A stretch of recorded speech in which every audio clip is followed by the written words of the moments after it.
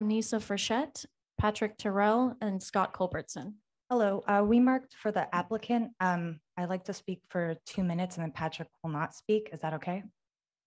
Sorry, what? We're Friends of Ballona Wetlands as part of the Oh, application. and yes, we didn't yes, get to yes, you can have two minutes. Okay, Yes, go thank you. ahead. Hello, Commissioners. Thank you for the opportunity to speak. My name is Nessa Frechette. I completed my undergraduate work at UC Davis in wildlife, fish, and conservation biology and received a Master of Natural Resources from Oregon State University while working for Friends of Ballona Wetlands. As manager of scientific programs, I oversee our monitoring efforts, including wildlife and vegetation surveys, and work with our habitat restoration team, the Department of Fish and Wildlife, and other organizations to improve habitat conditions at the Ballona wetlands. We have been working in this particular area of the reserve since 2020 by removing non-native shrubs and weeds, which we do remove weeds on a regular basis. Uh, in 2021, through a partnership with LA Conservation Corps, we removed nearly 60 tons of non-native plants.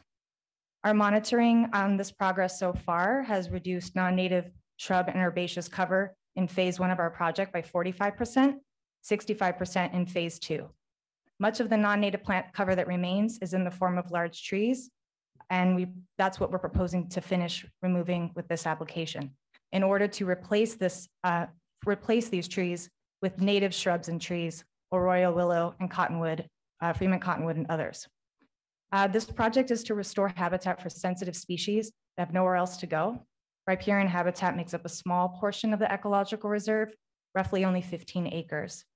Nevertheless, high-quality habitat that is present at the reserve currently supports annual nesting of riparian obligate species, such as the federally endangered least Bell's vireo and the uh, species of special concern, yellow-breasted chat, as well as many other birds that are attracted to riparian habitat. 95% of riparian habitat has been lost in California. Restoring this riparian area will provide additional habitat for protected and sensitive species that desperately need it. We will increase biodiversity with this project by creating layers of complex riparian vegetation that would increase breeding site opportunities for wildlife. Removing these trees is the next step towards expanding habitat for wildlife uh, that have ever shrinking resources.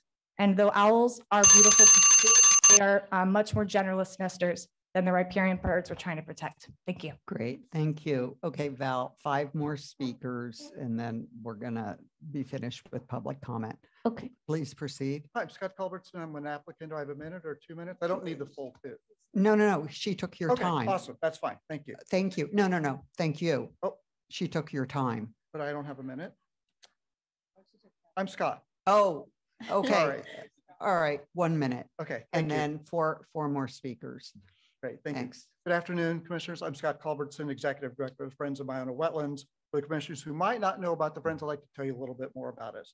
Friends were founded 44 years ago to by Ruth Lansford to save Ballona from being developed. After a 25-year hard-fought battle, the Friends won state purchased property saving in perpetuity. Today, the Friends are permitted by CDFW to operate education, restoration, and science programs in the ecological reserve. Our education program sees more than 7,000 students each year with a level-specific standards-based curriculum.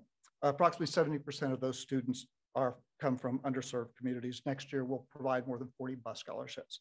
I'd like to reassure Cindy that we're, that we're still removing non-native vegetation. Last year, we removed 31 tons of non-native vegetation. I'd also think that it's worth pointing out that regarding the opposition to this CDP, it's worth noting that the primary opposition to this CDP has a history of litigation, filing dozens of lawsuits over the past several years and boasting such settlements on their website. Thank you for your time. Thank Thank you.